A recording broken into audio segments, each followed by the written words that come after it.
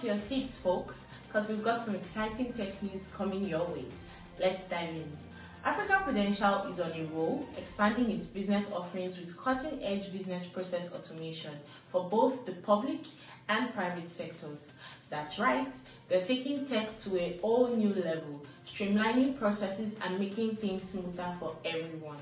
Health Insurance Group is making life easier for its customers with some fantastic new digital channels.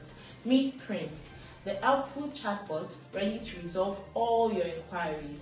Plus, there's a nifty USSD channel, star 110 ash, for Air's Life and cool mobile apps like Simple Life and Simple Protect. Accessing insurance has never been simpler. Great news for all you Google Play enthusiasts out there. Google has teamed up with Verve to make transactions a breeze. Now, Nigerians can use their Verve to make purchases on the Play Store.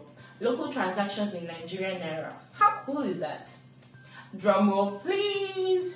NewGen Software Technologies is celebrating some impressive earning results. With robust growth across all geographies, their Q1 revenue soared with a 33% year-on-year increase.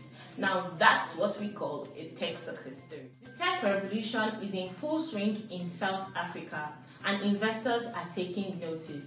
Tech-driven businesses are catching everyone's eye as opportunities for growth and innovation.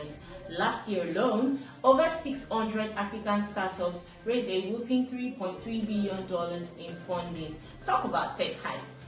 And that's a wrap on our Techtastic news for today. Stay tuned for more exciting updates from the world of technology.